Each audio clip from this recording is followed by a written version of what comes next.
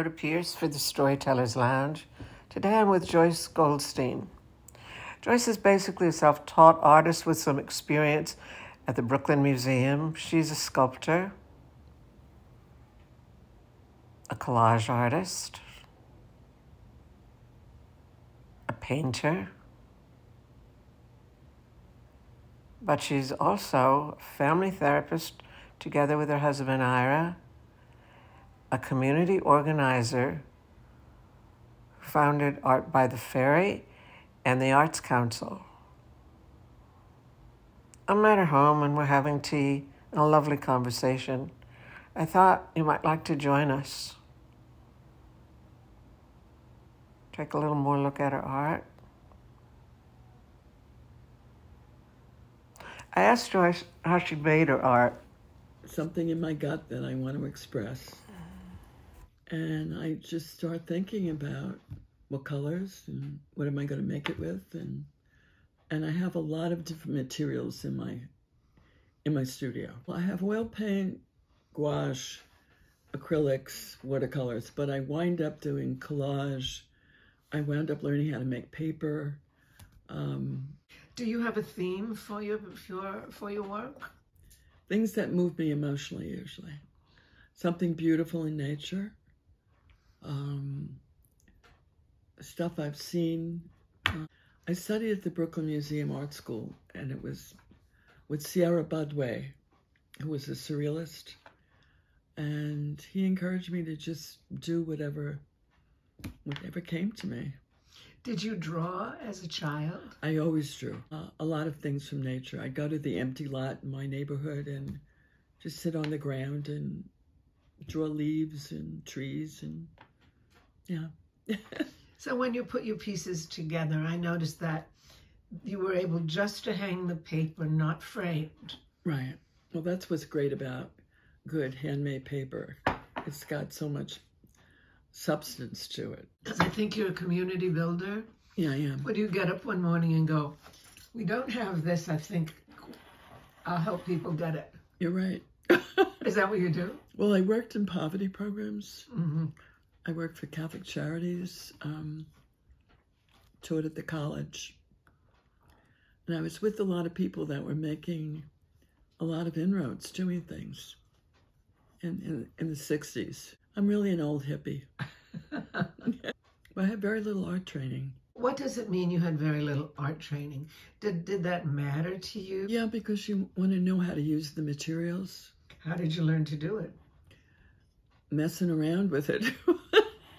And I was good friends with Herman Zaage, and he was sort of a mentor to me. Through Herman, I met a lot of people. It was just kind of a natural flow. Herman really started the art lab.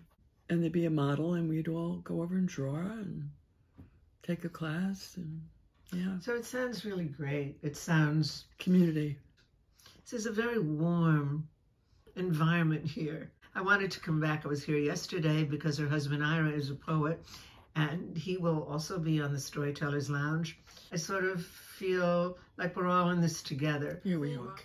Your pieces, they are they're hanging in your studio. Um, do you do you like to sell them, or do you care if you sell them? Oh, I like selling them.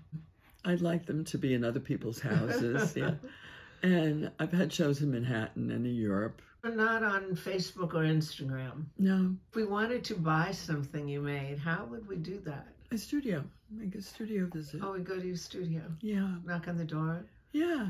Would you make something special for someone's home? Sure. If they ask I you? have. I have done that.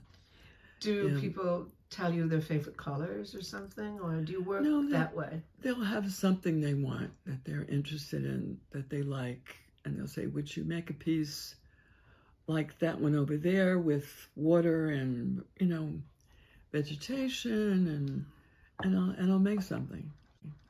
Yeah. So how long does it take you to make a piece? It depends on how complicated it is, how large. When I get going, I really get going. I'll stay up all night painting. Oh, you will? Yeah, I get carried away. how do you know when your piece is finished? It's gut, my gut. You're creative in many ways. And you work as a family therapist with your husband. Right. And is creativity involved with your work with people? I think it is.